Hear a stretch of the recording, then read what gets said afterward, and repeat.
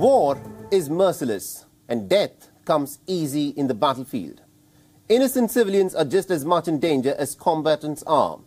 And journalists who cover wars and conflicts sometimes end up paying the ultimate price for their duty.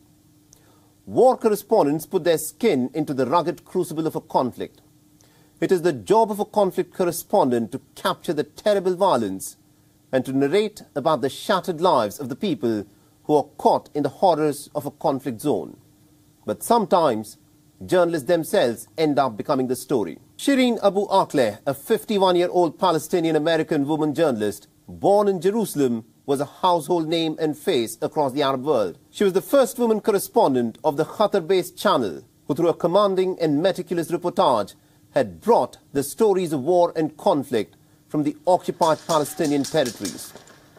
On the 11th of May, the veteran journalist was shot dead with a bullet in her face.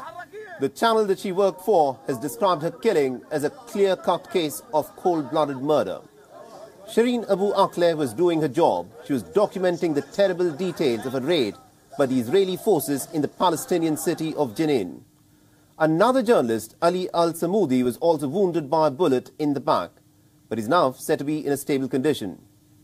Arab leaders, including the Emir of Qatar, have squarely blamed the Israelis for Shireen's killing that the Emir of Qatar has called for accountability on those who have perpetrated this murder. The Israelis have denied having any motive to kill Shireen Abu Akleh, but they've agreed for a joint investigation.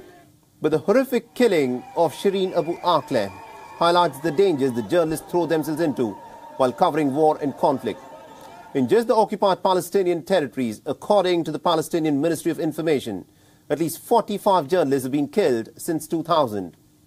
In the ongoing war in Ukraine, at least 23 journalists have been killed so far, seven while they were on assignment. In Mexico, at least about 11 journalists have been killed while documenting the violence of the gang wars since the beginning of 2022.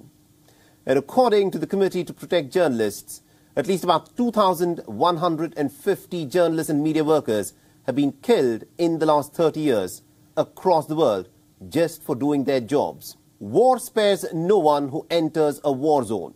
And for war correspondents, telling the story of people caught in a war zone can sometimes come at a very heavy price.